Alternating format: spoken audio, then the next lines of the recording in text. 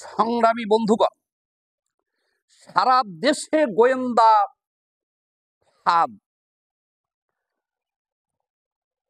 আরও অনেক গাড়ি পড়বে, অনেক নাটক মঞ্চস্থ হবে। সরকার কীভাবে একদলীয় পাতানো নির্বাচন করবে এর রোডম্যাপ নীল নকশা অনেক আগেই রেডি করে রেখেছে। অতএব সাধু সাবধান। সংগ্রামী বন্ধুগণ, আমি কমরেড সামাদ, সভাপতি বাংলাদেশের কমিউনিস্ট পার্টি মার্ক্সবাদী এবং সমন্বয়ক পাঁচ দলীয় বাম জোট। গত আঠাইশ তারিখ থেকে এ পর্যন্ত যত কাণ্ড কারখানা আপনারা দেখেছেন, সব সরকারের এজেন্সি দ্বারা পরিচালিত, নিয়ন্ত্রিত এবং ঘটিত। ঘটিত মানে যা কিছু ঘটছে, কোনোটাই সরকার এবং সরকারের এজেন্সি এবং পুলিশ বাহিনীর বাইরে কোনো কিছু নয়। আপনারা দেখেছেন যে আঠাইশ তারিখে কীভাবে সরকার আগেই ঘোষণা দিয়ে রেখেছিল যে শাপলা চত্বরের মতো করা হবে দুই হাজার তেরো সালে। হেফাজতে ইসলামের শাপলা চত্বরে যে ঘটনা সরকার ঘটিয়েছিল, ঘটনা বলতে কি? যে যেভাবে মাত্র পাঁচ সাত লাখ লোককে দুই ঘণ্টা, এক ঘণ্টার মধ্যে সাফা করে দিয়েছিল, এরমটাই করা হবে এটা ঘোষণা দিয়েছিলেন আগেই সরকারি দলের নেতারা ওবায়দুল কাদের সহ। ঠিক আমরা দেখেছি বিরোধী দলের বিএনপির সমাবেশের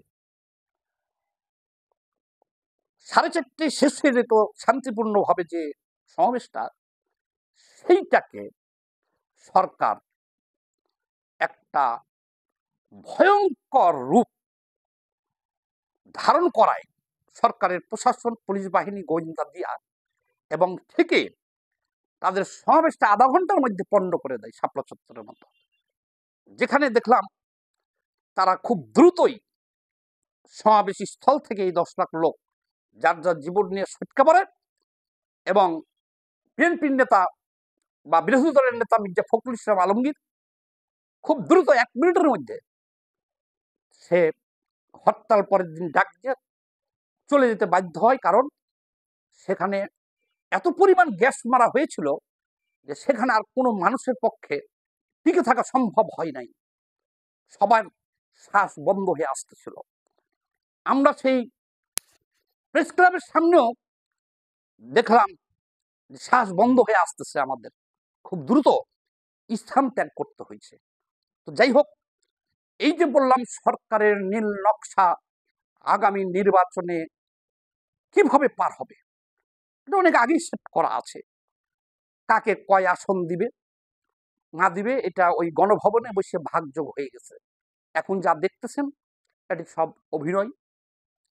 নির্বাচন কমিশন যে বিভিন্ন দলকে ডাকতেছে, আলোচনা করতেছে, এইটা একটা নাটকের একটা চরিত্র উনি। আগামী নির্বাচনটা যে হবে, এই টোটাল নির্বাচনটা একটা যাত্রা পালার এটার একটা অংশ, একটা পার্ট, একটা চরিত্র হলো নির্বাচন কমিশনের। সে সেটা মঞ্চস্থ করতেছে। রাজনৈতিক দলদেরকে ডেকে আলোচনা করতেছে। এই চরিত্রে আছে উনি। আর এক পার্ট আছে গোয়েন্দা সংস্থার। তারা তাদের রোল প্লে করে যাচ্ছে একের পর আর একটা রোল আছে আওয়ামী লীগের। সেইটা তারা শান্তি সমাবেশ। যে শান্তি কমিটির বিরুদ্ধে উনিশশো একাত্তর সাল থেকে ওনারা লড়াই করে আসতেছে শান্তি কমিটির বিরুদ্ধে। বলতেছে যে শান্তি কমিটিকে ফাঁসি দাও, ধরো, এরা রাজাকার, এরা শান্তির নামে এই করছে এই করছে এই করছে। রাজনৈতিক ফায়দা আওয়ামী লীগ পুরাপুরি নিয়েছে এই শান্তি কমিটির বিরুদ্ধে, বলচাল করে রাজাকারের বিরুদ্ধে। এখন তারা নিজেরাই শান্তি কমিটি গঠন করছে। করিয়া ঘোষণা দিছে যে বিরোধী দলের নেতা কর্মীদের পাইলে ধরে সোপর্দ করেন। ভয়াবহ ব্যাপার। এবার আসেন, সরকারের যে যে সংস্থাকে যে যাত্রাপালা মঞ্চস্থ হবে, আগামী নির্বাচনে ফাইনাল, তো সেই নির্বাচনকে কেন্দ্র করে সরকার যাকে যে রোল যেভাবে প্লে করতে বলছে, অভিনয় করতে বলছে, সে সেভাবে অভিনয় করবে। কিছু রাজনৈতিক দালাল আছে, যাদেরকে বলা হয় white man clear criminal white man clear criminal political criminal যারা আছে, এদেরকে গুছাইছে। তারা বিভিন্ন জোট করতেছে, একের পর এক জোট করে রেডি হয়ে রয়েছে যে সরকার কি টাকা পয়সা দিবে কি দুইটা একটা আসন দিবে, তারা উচ্ছিষ্ট ভোগী যারা। এদেরকে রেডি করা হয়েছে, তারা তাদের রোল প্লে করবে। করতেছে। গোয়েন্দা সংস্থার রোল তারা প্লে করবে। এসপিরা জেলায় জেলায় ওসিরা থানায় থানায় তাদের রোল প্লে করবে। এটা এক ধরনের যাত্রাপালা মঞ্চস্থ হতে যাচ্ছে আগামী নির্বাচন এবং সেটা হবে দুই হাজার চোদ্দ কিংবা দুই হাজার আঠারো স্টাইলে অথবা তাদের মাথায় হয়তো নতুন কিছু আছে যেটা আমরা জানি না, সেভাবেই। কিন্তু অবাধ সৃষ্টি এবং সকল দলের অংশগ্রহণের নির্বাচনের পথ একেবারে তারা বন্ধ করে দিয়েছে। আচ্ছা এবার গোয়েন্দা সংস্থার ব্যাপারে আপনাদেরকে বলি। তত্ত্বাবধায়ক সরকারের প্রধান করা হবে নোবেল জয়ী ডক্টর মোহাম্মদ ইউনিসকে। এই কথা বলার পরে বাংলাদেশের কিছু লোককে ডেকে নেওয়া হয়েছিল। একবার ব্যাংকক আর একবার সিঙ্গাপুর। তো যারা বাংলাদেশ থেকে গেছিলেন, তারা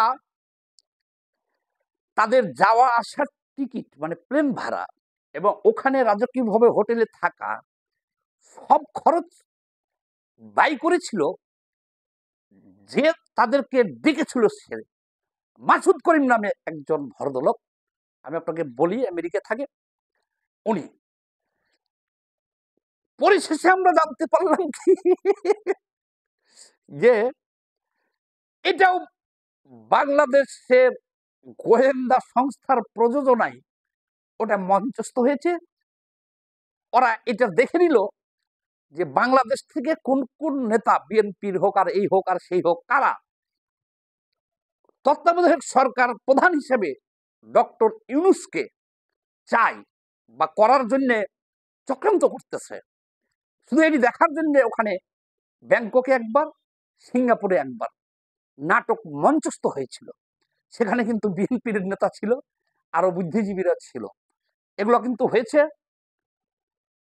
গোয়েন্দা সংস্থার প্রযোজনাই আপনারা দেশবাসী, আপনাদেরকে আরও সতর্ক করে দেই। এখন বিরোধী দলের যে আন্দোলন সংগ্রাম চলছে, এখন কিন্তু সারা দেশেই এরকম গোয়েন্দা ফাঁদ পাতা আছে সারা দেশে এবং তাদের শিডিউল করা আছে যে কোথায় কোন গাড়ি পূর্বে না পূর্বে কোথায় সহিংসতা হবে, এটা তাদের জানা আছে আগের থেকেই। অর্থাৎ এখন এই এজেন্সি দিয়ে সরকার এই বিরোধীদের আন্দোলনটাকে নাম যাতে দিতে পারে বহির্বিশ্বে যে এরা হলো আগুন সন্ত্রাস। এরা হলো মানুষ হত্যাকারী, দেশের সম্পদ ধ্বংসকারী এরা রাজনৈতিক না। এইটা সারা বিশ্বে প্রতিষ্ঠিত করার জন্য এই দেশে আরও অনেক আগুন লাগবে। এজন্য আমি সতর্ক করছি, যারা শান্তিপূর্ণ আন্দোলন করছেন এদেরকে আরও সতর্ক থাকতে হবে এই আগুন সন্ত্রাস থেকে। অপরিচিত কোনো লোক বা এরকমই যেমন ধরেন একটা নাটক মঞ্চস্থ হয়েছে বিএনপি অফিসে। জো বাইডেনের স্বয়ং উপদেষ্টা চলে আসছে বিএনপি অফিসে, যেখানে গ্যাস আর গ্যাস একটা যুদ্ধক্ষেত্র ওখানে সাধারণ মানুষ যাইতে পারে না। সেই সময় জো বাইডেনের যে হাজির হয়ে গেছে, নিয়ে সাথে একজন সাবেক লেফটেন্যান্ট জেনারেল যে সরোয়ার সাহেব সহ গেছেন। আমি একটা কথা বলি, বাংলাদেশের গোয়েন্দারা কিন্তু এখন পনেরো বছরে এরা অনেক শক্তিশালী। এরা আন্তর্জাতিক রোল প্লে করতেছে এখন। সাবধান। এই যে আমাদের ভিপিনোর মোসাদের সাথে যে আলোচনায় গেছিলেন, আলোচনা হয়েছে কিনা আমি জানি না, কিন্তু যেটা বলছি আমরা, যেটুকু দেখেছি মিডিয়ায়, মোসাদের সাথে তাকে বসার জন্যে উদ্বুদ্ধ করেছিল বা ফোনে যে কল রেকর্ড কথাবার্তা হয়েছে, সেটাও কিন্তু গোয়েন্দা সংস্থার প্রযোজনাতেই হয়েছে। সংগ্রামী বন্ধুগণ, আগামী নির্বাচন দেশটা এখন একটা পুলিশি রাষ্ট্র। আমরা বসবাস করতেছি। ভয়ঙ্কর একটা ভীতিকর অবস্থা এবং রুদ্ধশ্বাস অবস্থায় দেশের ষোলো কোটি মানুষ আতঙ্কিত। খাওয়া দাওয়াও ঠিক মতো করছে না, যার যার কর্ম ঠিক মতো করছে না, ঘর থেকে নিঃসংকোচে বেরো হইতে পারতেছে না। রুদ্ধশ্বাস যে কখন জানি কি হয়, কোথায় আগুন লাগে কোথায় বারেলেনি পুলিশে ধরে, কোথায় নাকি ককটেল পরে, এরকম একটা ভয়াবহ পরিস্থিতি সৃষ্টি করেছে এই বর্তমান সরকার বা ফের সরকার।